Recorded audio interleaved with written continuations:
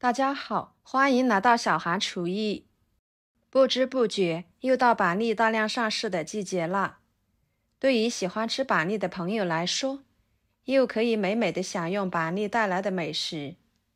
那么问题来了，板栗虽然好吃，但是外壳非常的硬，一点也不好去壳，所以呢，会使很多喜欢吃板栗的朋友望而却步。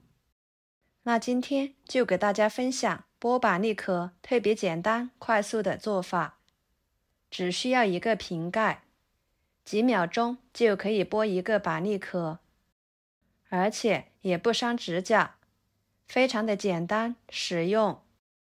出锅还个个开花，看着很是漂亮。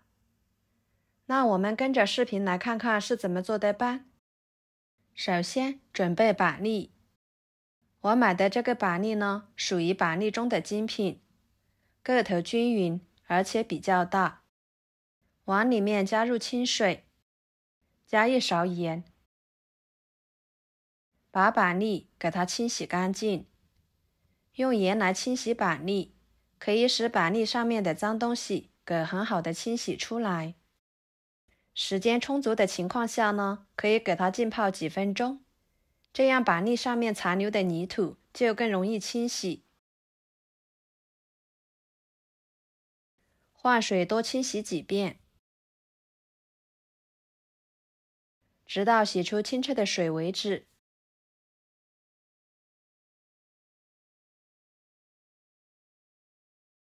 给它捞出来，放菜板上。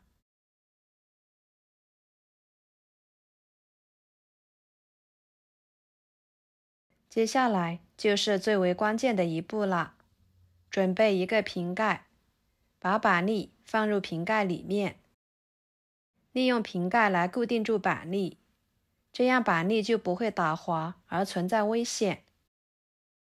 然后用刀在凸起的一面切上一个十字花刀，花刀不要切太深，跟瓶盖差不多就可以啦，特别的简单快速。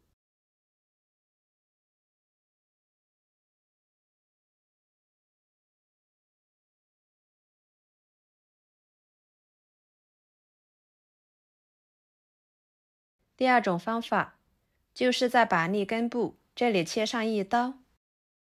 切的时候不要切太厚了，薄一点都可以，不然比较浪费。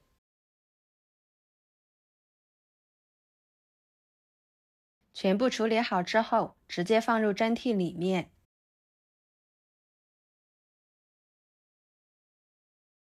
把打过十字花刀的板栗给它花刀朝上。这里我们可以选择蒸，也可以选择放开水里面煮。不过我个人觉得蒸出来的板栗营养不易流失。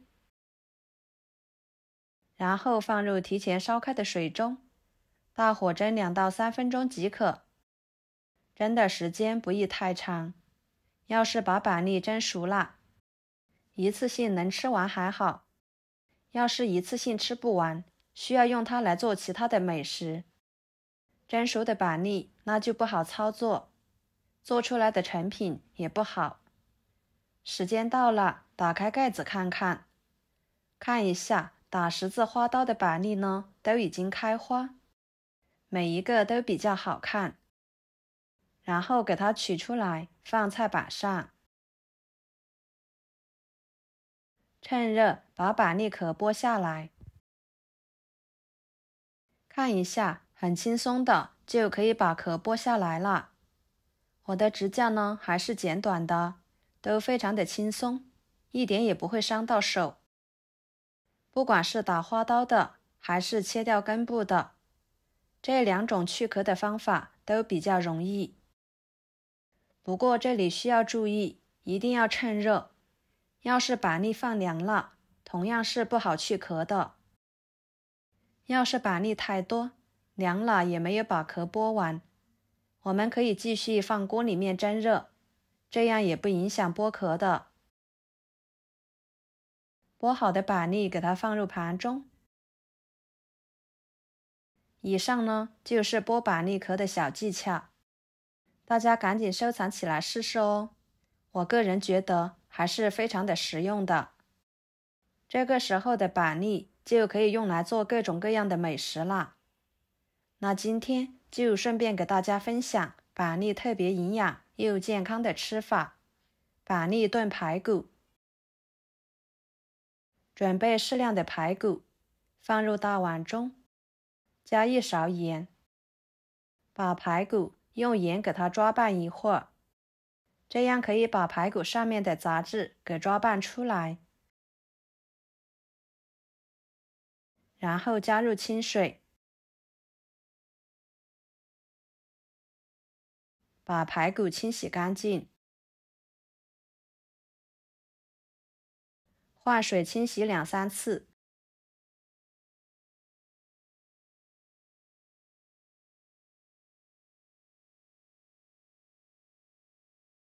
清洗干净之后捞出来，直接放入锅中，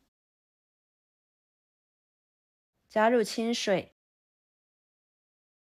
放几片生姜，一个葱节，开大火烧开。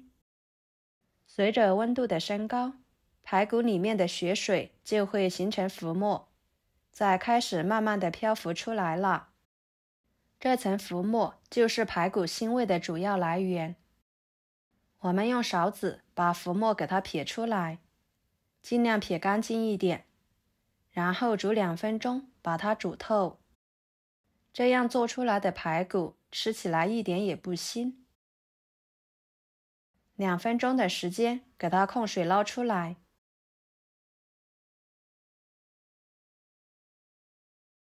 放入温水中，把它清洗清洗。洗去上面残留的浮沫，再捞出来，直接放入砂锅里面，放几个洗干净的红枣，两三片生姜，加入清水，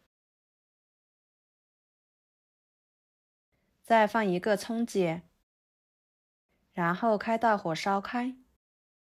水开后，转中火炖半个小时。半个小时的时间，把葱节夹出来不要。再把板栗倒进去，加一勺盐，搅拌使盐化开。这里就不需要加其他的调味料了，这样吃起来原汁原味的，汤汁喝起来。也会更加的营养又健康。继续炖十分钟左右，把板栗炖熟即可。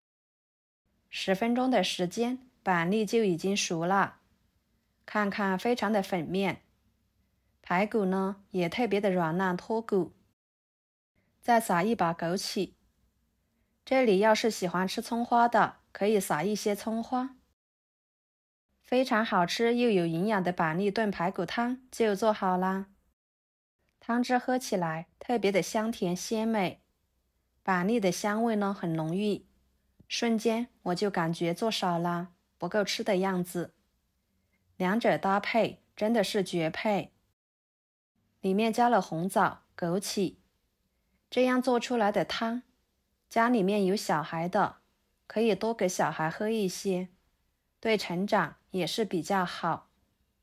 秋天正是吃板栗的季节，大家可别错过了。用板栗做出来的美食真的是特别的诱人哦。好啦，今天的美食视频就给大家分享到这里啦。如果您觉得我做的美食视频对你有帮助的话，就收藏起来，给我点个关注吧。我是小韩，感谢大家的支持。我们下期视频见，拜拜。